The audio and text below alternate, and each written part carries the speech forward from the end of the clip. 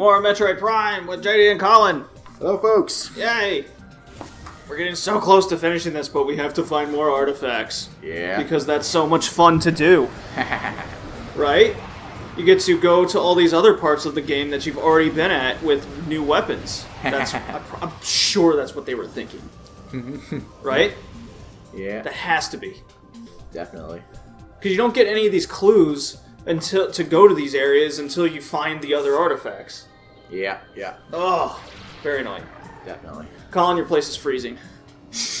Yeah. It's, I the, live in it's a, the middle of the summer, and I feel like I'm in 40 degrees. I'm living in a basement. You should have warned me. Although you have given me this uh, nice wool blanket for me to wrap myself in like a cocoon. Yeah, yeah. My mom bought it for me before I went to Yellowknife, you know, so that I'd stay warm. What's Yellowknife? Uh, capital of Northwest Territories, province of Canada. Way north. I'll show you. if you're gonna live in Canada, you gotta know this stuff. Well, we're not over near Vancouver. This isn't near Vancouver. It's like over Alberta and Saskatchewan, and uh, I'm, I'm aware. it's like right next to none of it. Uh, I know where none of it is. let's see. So I had you borrow the Btooom DVD. Yes, you did. Ah, here we are. Uh, Northwest Territories, right here. Right next to Yukon. Oh, the Yukon. You could have just said next to Yukon. Jeez. you actually called it Yucatan in a, another video. Oh, the Yucatan Peninsula. yeah. yeah, Anyway, I think it was Persona 3. We Probably. Talking about Junpei calling Yukari Yucatan. yeah, yeah, yeah. and that's that's when I got confused. I was like, Yucatan? I thought that was tropical. Yeah, I, Yukon yeah, territory. misspoke. Misspoke. yeah, yeah, yeah. Um, So yeah, uh, let's see. Where's Yellowknife? Where's Yellowknife? Where are you? I got it. Don't worry about it. It's fine. Oh, oh, here it is. Right here. That's far. That's far up there. It is. Do people live up there or just moosing?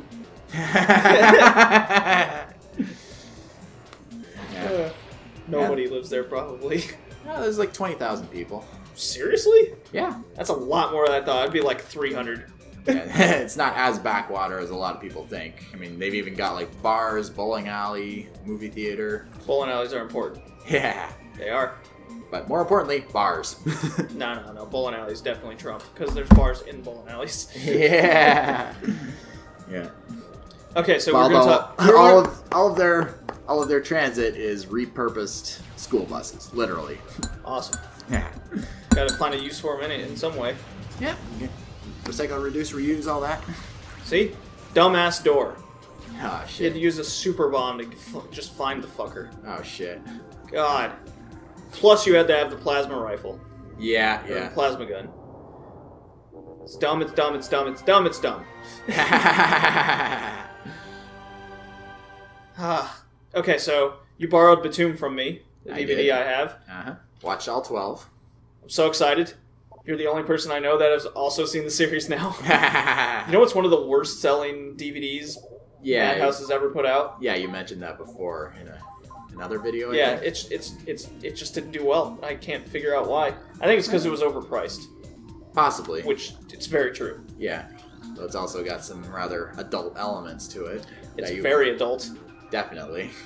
I mean, geez, you got like not only people getting blown to pieces. There's also like rape sequences. Yeah, they don't There's fuck a- around. Yeah, there's like two in one episode actually. At least, Is there two? because I remember the the main Oh, that's right. Yeah. Okay. Never Yeah, mind. No, that's kind of a spoiler. in the main flash in a flashback. In a flashback, there's a rape scene. Yeah. Yeah. Although the main girl, it's just an almost thing, but her three friends, oh boy. Yeah. Well, so the whole premise is uh, they're all put on this island mysteriously, and they have to compete essentially in the same rules as an online game Yep, called Btooom, and it's essentially Call of Duty with bombs only. pretty much, yeah. So they're put on this island, and the way you get on the island is you're nominated by somebody in the real world Yeah, who hates your guts? who hates your guts. But you're some of the questions you ask yourself is okay, why you know why do they choose these people in, in specifically? yeah, because there, I bet there's lots of people that hate people, hate other people. Yeah. You know, um, that's actually revealed in the manga. Uh huh. Yeah, there's a slight. Uh, there's uh, you'll find out that there's a reporter who's doing research on all this Oh. shit happening. Oh, yeah. Um, he was just revealed recently to me. Huh. Yeah, I've only just gotten to uh, the end of the anime, which covers up to the end of chapter 50 of the manga. yeah. Yeah. Yep. It's um, I think they came out with the anime too soon That's true, yeah. because they're only on I think volume 14 right now. Yeah, I think I think Rave Master had the same problem. That's why it didn't succeed as well. Yeah, which is really a shame because how, I mean, there's fan service in it for sure, yeah. But I think it's got a lot more adult themes than what you normally see. That's Yeah. what kind of grasped me, and you see character struggle and development from start to finish. Yeah, yeah. so what are your what are your thoughts from start to finish there? Uh, it's, it's definitely got a very battle royale esque plot to it. I don't know if it's the most creative I've ever seen it done, but it's it's interesting enough that I wanted to keep going. And the characters, they're definitely definitely interesting. Like the main guy is very flawed. Like he's kind of How so? well in the as you see in his flashbacks, he was kind of an asshole to his family. Oh, for sure. I mean, for fuck's sakes, he chucked a controller at his mom that embedded in the wall when Yeah. she interrupted his game. I was like, fuck, dude! That's your mom! Well, um, yeah, he was he was ve- he yeah he, he was in the real world. He was very much uh, a flawed person. yeah, he's not motivated for anything. All he really cared about were his games. They call him a NEET, but Yeah, it's like, eh, I don't know the way the way it's uh, a, NEET can't even function in the real world. He could well, he's the only reason he could function was because he was still living with his mom. right. Uh, so what I like about that is you, you see why he's there. Yeah, but then while on the island he uh, he goes through this wild character revelation of Yeah. himself yeah, it's like the life or death situation really triggers his, really makes him consider what it is. to be About part himself. of yeah to, to- about himself be part of society Yeah, uh, he realizes how he how poorly he's treated his family yeah, yeah, exactly. yeah i really like that Definitely. um, but what i didn't like is the uh, the mom and stepdad clearly did fucking nothing Yeah, well, in his mom's case, it was a, a little bit understandable. She was she was just scared of him. I think. i don't know Uh, well, my memory's a little fuzzy, but I mean, there was definitely fear there, but a parent's ca- a parent's job is to yeah, they're get their kids straight or get them out. yeah, they're the they're the author- main authority figure in their lives. Right, and they didn't do any of that Yeah, that's true. because you do find out. I think it's what in the fourth episode or something. It's really early that you find out his mom's the one that nominated him. Yeah, and then she was so so racked with guilt, she tried to kill herself. Yeah, so that's very early in the series. Um, but where was I going with that? Where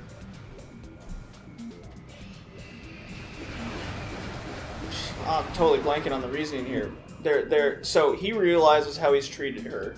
She clearly ha- has like no author- authoritative figure at all in her life. Yeah, Uh, I think it's just bad parenting. possibly. I remember there's a flashback to his his biological dad. He was not there with his kid. He was just on the phone all the time or at work all the time. So yeah, so here's here's the here's the thing with that. Uh, he uh, Ryota, the main character's name, Yeah, he didn't really mind the fact that his dad was working. He hated his mom because she left him. huh.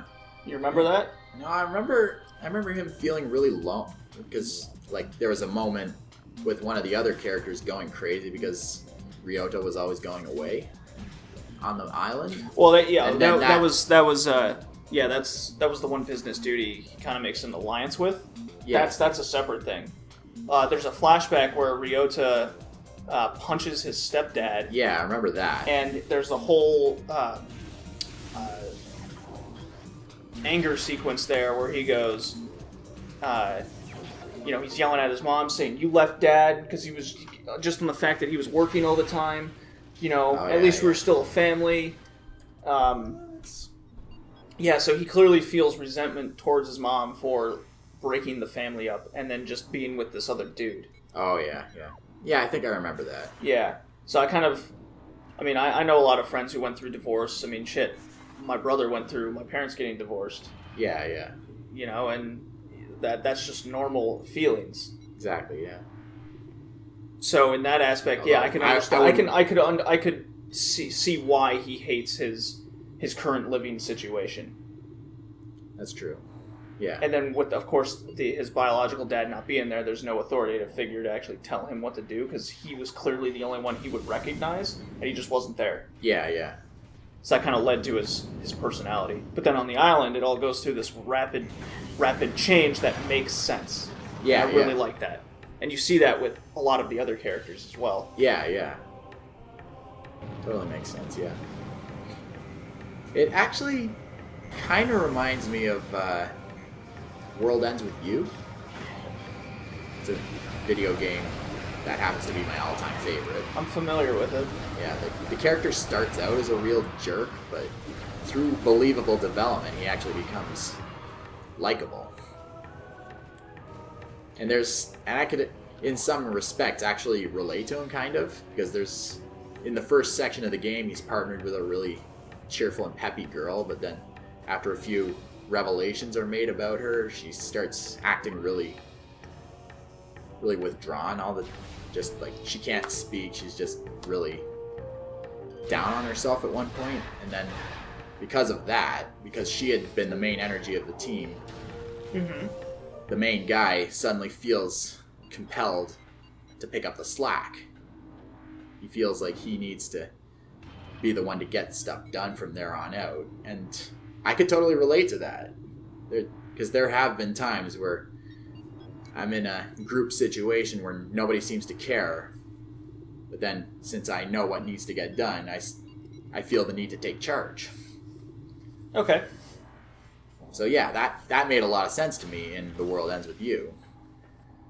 So you kind of you, so that's where the similarity lies in the two, Yeah. two things. Yeah. Yeah. A life or death situation creating a compulsion.